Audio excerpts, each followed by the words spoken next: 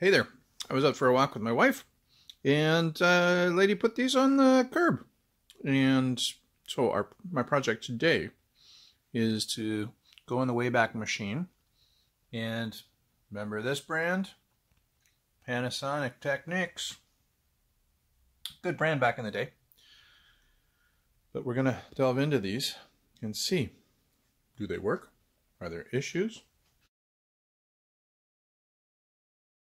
All right, so I spent a few minutes cleaning this up with some 99% uh, alcohol, and it cleaned up okay. And in the little cleanup, here's some good news.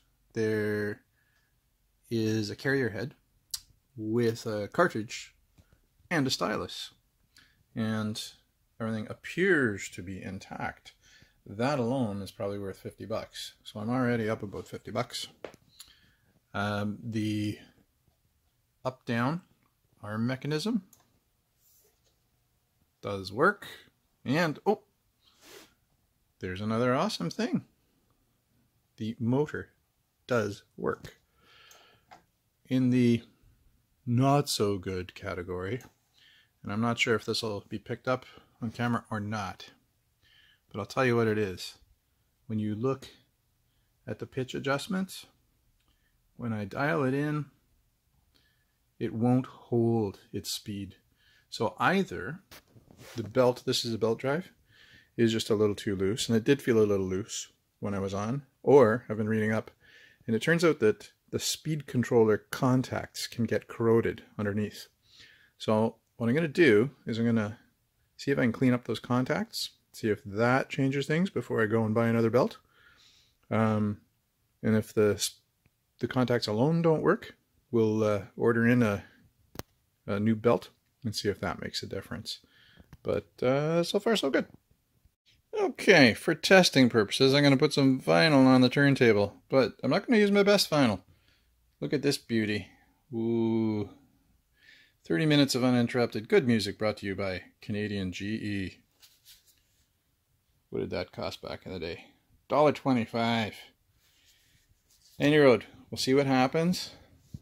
Got it plugged into the tuner. And we'll see if it makes a noise. There we go. We'll switch over to phono. Ooh, there's a bit of hum in that there thing. But there is some music coming out. So, the hum sure doesn't sound good, but uh, it could be that I need to ground the record player. Alright, so I figured out their magic code. This is VR, variable resistor, 45, speed 45 RPM, VR 1, speed 33, so these are the adjustable um, potentiometers, pots, variable resistors that adjust the fine speed control. And I think what they're saying in the various online forums is that it's the contacts in here that get a bit monkey. monkey.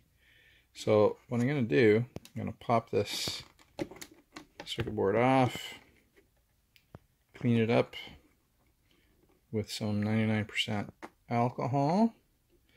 Um, I think that they recommend a deoxidizer spray. I don't have any. And then I'm going to make sure that all the potentiometers and such for fine speed control, the uh, pitch, are also cleaned up as best I can get them. See what happens. Alright, so I've just taken some white lithium grease and using one of these little Q-tip applicators, staying away from electronicals, but going to the mechanicals, down in here, well lubed up along here, over yonder, up here on the left, and then down here there's a little mechanism. So just cleaned out all the old gnarly stuff, which looked like that Nice that it was black, easy to find, but freshened it up with some new stuff. Now, next thing I'm gonna do is gonna take, you know, basically sewing machine lube with a fine tip applicator and gonna take this spindle off. And there's a tiny, tiny screw here. And it's got a little bit of lock nut on it. So you'll have to break the little plastic seal, pop that out, and then what'll happen is you may hear a drop in the box, your spindle falling out. Now don't lose screw. Do recommend you have one of these nice things. And I'll be back to you literally on the flip side. Okay, so this is the spindle. We've removed the little retainer screw on the bottom. It pops straight out. Oh, there's the white lithium grease on the gear, which is good. Now, I had already cleaned this up. I'd taken it out already, but I found a bunch of old hard grease caked on down here. That's the recess where the retainer goes. But the recommendation is to take your pin oiler and put a couple of drops on here. This is a fine oil. And then a drop down the shaft as well. And replace that. Give it a spin. And that'll be moving nicely. Also, this is this drive motor. That's the other side. And there's three little rubber washers and this head does float a little bit. So that's okay. But do take some alcohol wipe, clean off that bogey wheel or the, the pulley, clean off your shaft here, and uh, you should be good to go.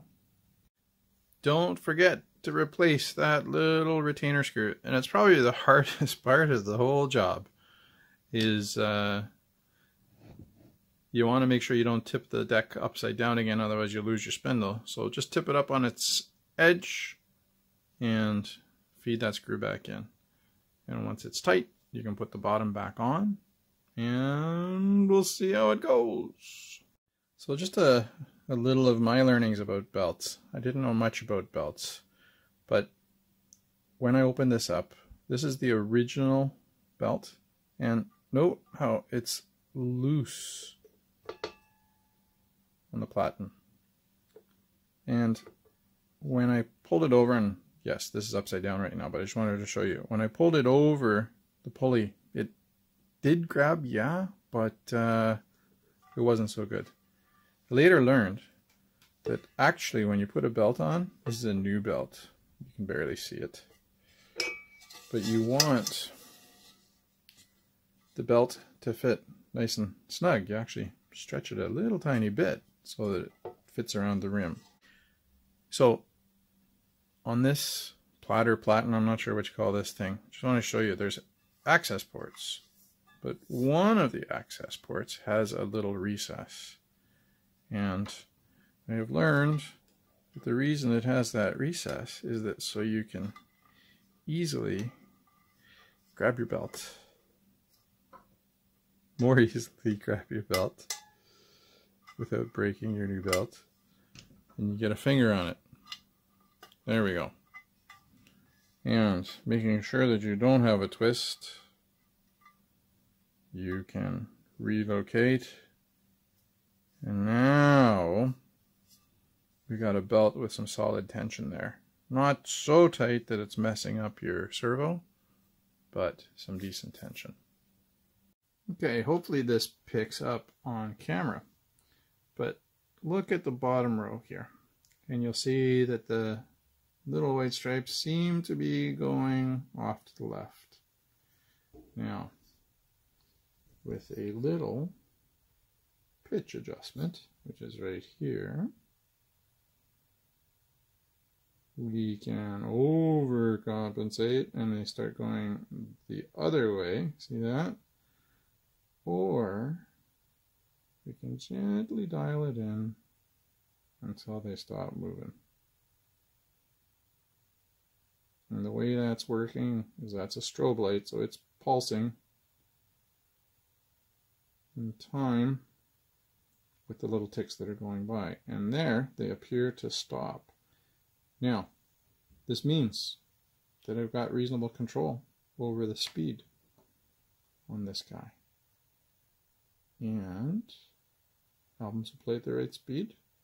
Before made those changes, new belt, working on the pots, it was varying wildly. So there you go, success. And here's the finished product. One nicely dialed in turntable. Panasonic Technics. And one modernized tuner. Thank you very much and thanks for watching.